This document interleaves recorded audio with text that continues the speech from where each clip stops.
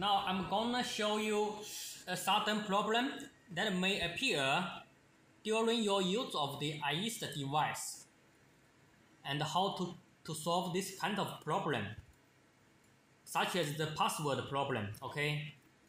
Now let's select one 2.4G Wi-Fi to connect okay? So let's connect this one.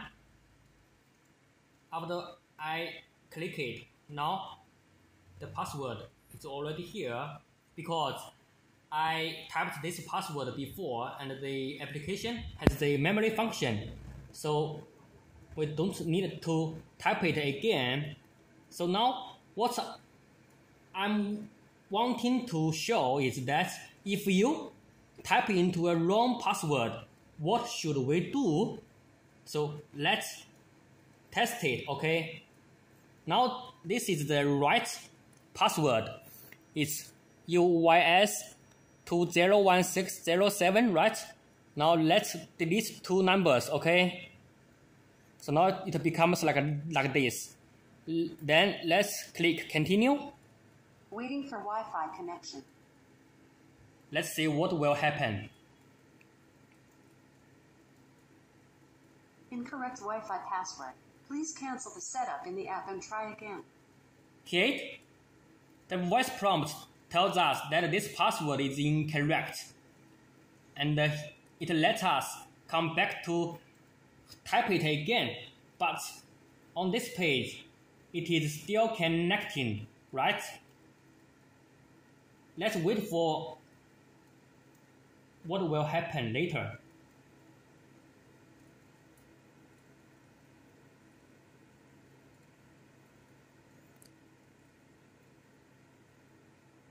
It's still rotating because of the wrong password. So we cannot connect the Wi-Fi forever because of, because of this fault. Now we have come to a connection failed page, right? And it tells us the problems.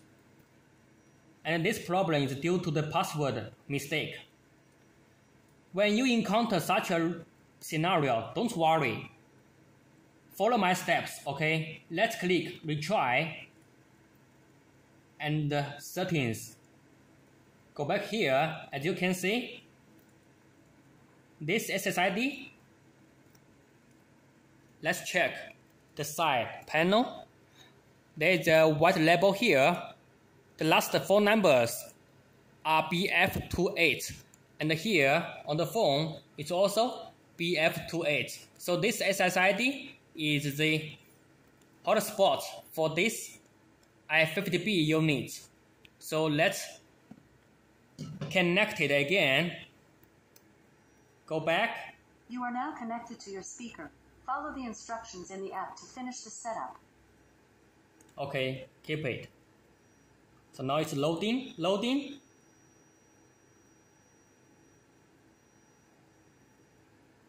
We have been to this page again. Remember it? Is it familiar? Then let's connect the 2.4G Wi-Fi again. Go to the password column, make it same. Then let's type the correct password. Oh, wrong again. Okay, so now this one is the correct password. Continue. Waiting for Wi-Fi connection. It's now connecting.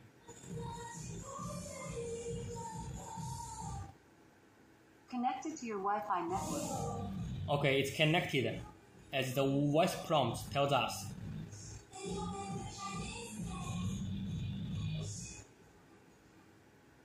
So now it's connected.